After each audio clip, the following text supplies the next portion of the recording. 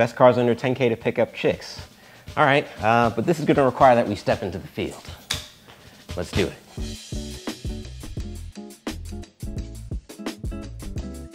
So I picked four very different everyman cars under 10 grand and let some ladies rate them from one to five stars. And every person is different and associates different things with different cars. But I thought this would be good to know for uh, research purposes. And then this one. Four. Three. 3.7. I like the view Yeah. and the tires, the rims. Yeah. I give it a four. Four. Zero, is that option? Zero. Before we get into the results, let's firstly go over the cars and why I chose them. Firstly is the Chrysler 300. This is a car that's easily attainable under 10 grand, albeit with high mileage if you want a facelifted model. And I chose this car as opposed to the Dodge Charger or Challenger because while they share the same platform physically, I think many people can easily perceive the standard Charger or Challenger as a Hellcat model if they're not super into cars, so I didn't want things to be unfair for the rest of the cars in the lineup. So I'm here with McKenna. McKenna and Hallie. Hallie. Nice to meet you guys. So we know that the car doesn't make the man, right? But I think everyone at least has a preference as to what they would prefer their significant other or first date boyfriend to pull up and like pick them up and take them out. So I'm gonna show you four cars and then you're firstly gonna give me a rating out of five for each one. And then we're gonna pick the best and then you decide, you tell us why. Throughout this entire video, there's going to be a lot of autofocus parts in these clips, and I deeply apologize for that. Trust me, it hurts me more than it hurts you. Okay, so here's the first one. What would you give this out of five stars? Three. 3.7. So right off the gate, we got the Chrysler 300 with a 3 and then a 3.7. And a part of me feels like she kind of threw in that 0.7 just to have a different answer from her friend. 3.7? Okay, that's specific. I don't know. I feel like that was a bit artificial. But, you know, we'll we'll run with it. What would you give this out of a five? Five stars. Five. What kind of car is it? It's a Chrysler. Uh, I don't. Uh, I'll give it a three. Three? Five. It's like mid. I don't know. First girl says 5 out the gate like she was sold on the car, completely sold on the car. And then when her friend comes in, not really sure about it, when I tell her the brand, It's a Chrysler. Uh, I don't. She's like, uh, you can literally hear the numeric rating going down with the tone of her voice. Brand name to a lot of people is very important, apparently. It's like mid. She says it's mid. Uh, I mean, I feel bad for the Chrysler 300 guys, you know, the people who are watching this who have a Chrysler 300 hearing or call it mid, you know, I'd be, I'd be a little hurt. What would you give this out of five stars, Liza? Um, I guess like a three out of five. Two. Hmm, I guess the uh, Chrysler may be going in a downwards trajectory now. I mean, we'll see, but three out of five isn't bad. Um, two out of five, though, not great, not looking good. We'll see how this progresses, though. So here's the first one. What would you give this out of five stars?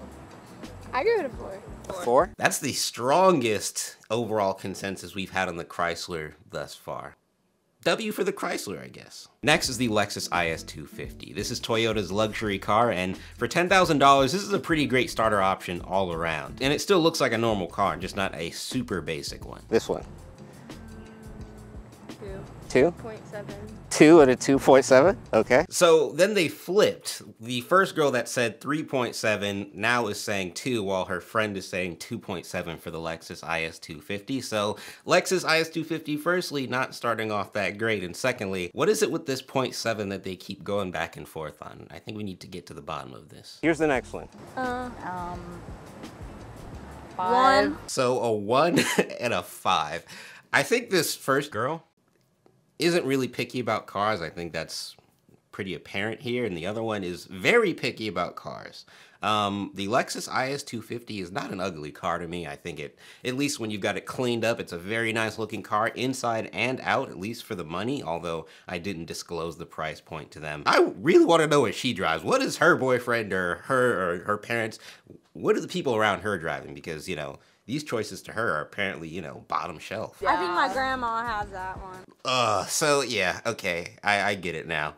When you apply the whole seeing your grandma drive it thing, you know, there's certain things you really can't detach, you know, when seeing certain people in certain kinds of cars. And when you grow up seeing your grandmother driving a certain kind of car all the time, you're naturally going to associate these things with, you know, elderly people in some cases. And, uh, like I said, that's quite unfortunate for the Lexus IS250 owners and fans out there. All right.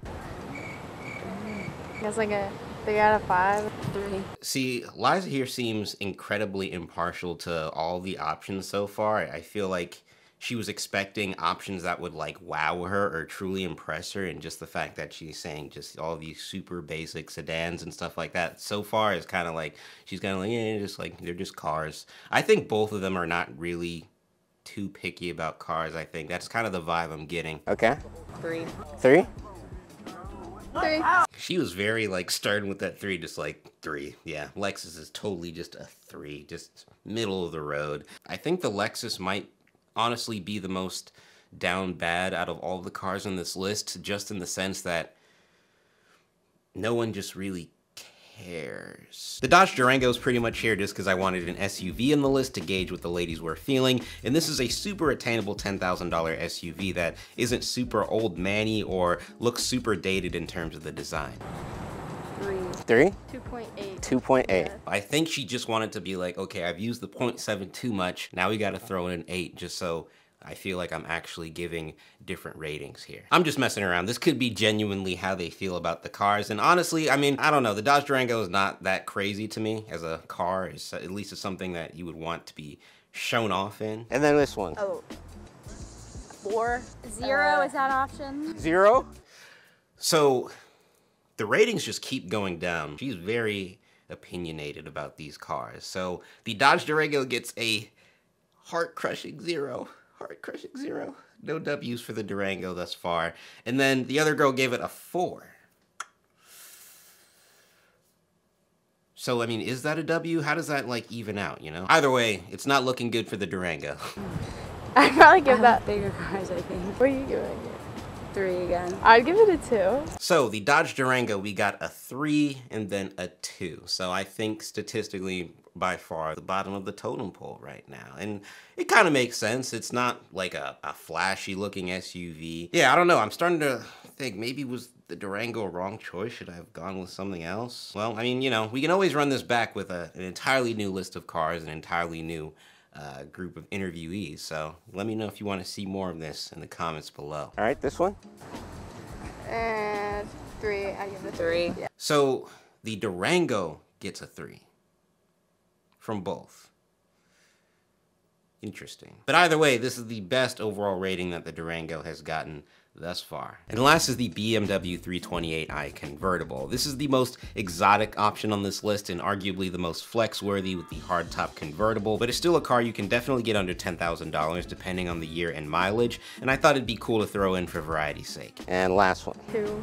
2.6. 2.6. So I think you guys gave the first one the highest rating. Yeah, I like the color, yeah. I think it just looks like the most, uh, I like the view. Yeah. And the tires, the rims. Not So I picked the BMW in blue thinking that maybe the blue would carry the car more so than, you know, the hardtop convertible aspect of it. But the fact that the Chrysler won, especially with it having this pretty basic, boring gray color, I found that pretty interesting. I'm not trying to say any of their opinions are wrong here, but just interesting. And I think it's good for you guys to know as well, as 99% of you are guys. Okay.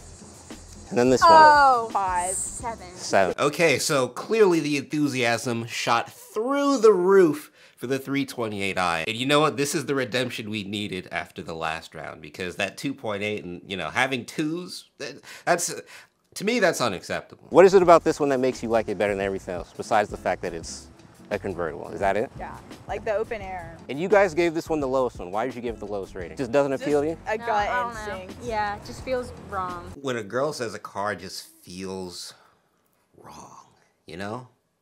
And so, yeah, don't get a Dodge Durango. Um, at least if you're interested in these two women right here. This one. I don't know if that's like too like feminine, Mm. I mean, I'm but I like a convertible. yeah, I feel like that'd be fun. I give it like a four. A four? A four? I guess they're both like, since it's a convertible, since the top can drop, I guess we have to give it a four. So that makes me think that I could have maybe showed them any convertible from any brand and they would have probably been down with it if it was a two door.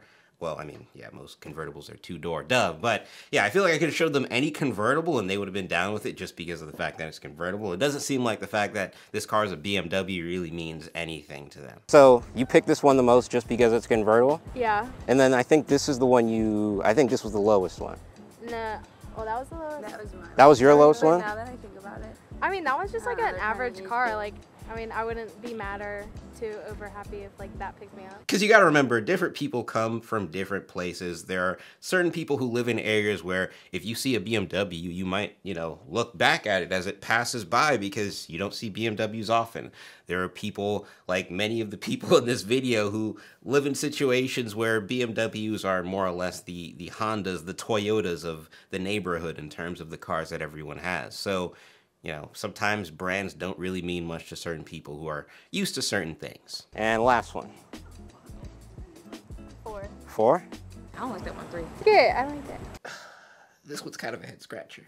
So the gray Chrysler 300 gets the four on both ends, and the blue BMW convertible gets a four and then a three. Like I said, I don't disagree with any of these takes. I can't because they're just, you know, I'm just fielding, I'm just surveying basically. But I don't know. I feel like that one just doesn't sit right with me. Okay, so why do you like the last one the most? I like it because I like the model of it and I like how it has the top down and I think that's like a vibe. And why do you like the first one?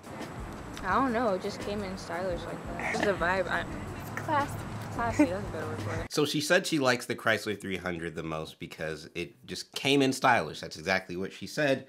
And I wonder if that has anything to do with the angle of the car in terms of the photo, the way it's presented in the photo. I wonder if that makes any difference uh, to them as far as the rating they give it. Because the gray is a super, you know, it's a super just normal color. It's not really poppy. It doesn't stand out too much. So, but I don't know. I think, you know, I think this proves more than anything that every woman and every person in general just has different tastes, even when it comes to automobiles, even for non car enthusiasts. So now that we know what they thought in all of their ratings, let's add this up and figure out who won. So, firstly, you've got the Chrysler 300 with a 3, 3.7, 5, a 3, another 3, a 2, a 4, and a 4. Then we've got the IS250 with a 2, a 2.7, a 5, a 1, a 3, a 3, a 3, and another 3. And then the Dodge Durango with a 3, a 2.8, a 0,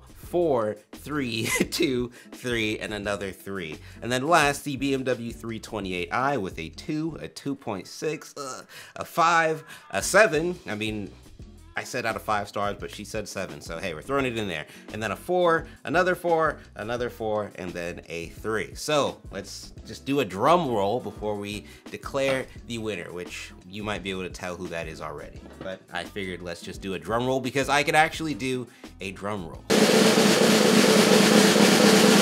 So the winner coming in with a 3.95 overall rating is the BMW 328i convertible. BMW boys, we're up, okay? We're up. This is a, a great W, one that I kind of expected but also wasn't so sure on. And just in case you want to know the other overall ratings, the Chrysler 300 got a 3.46, so the second highest. The IS250 got a 2.83, the third highest, and then the lowest was, of course, the Dodge Durango with a 2.6. So overall, these scores aren't that far apart, and I think the biggest lesson uh, to take away is that a car does not make the man. This is what I said to every interviewee before I showed them the cars. The car does not make the man, fellas, so if you go out and buy one of these cars, it's not gonna automatically get you one of these girls. I feel like that's just common sense, but I felt like I needed to iterate that. But overall, I had fun doing this video, going out and filming it, and then looking back at the footage uh, some weeks later. It's definitely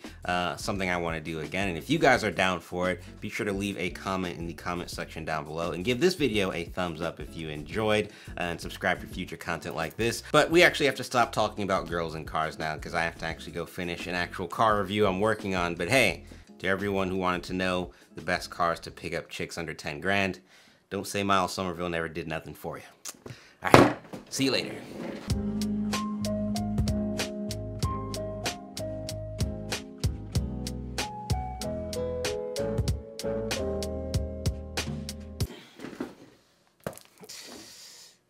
I'm what you call a Bavarian man, you know? So to hear the BMW pretty much get the lowest rating out of the four between both of them, it hurts.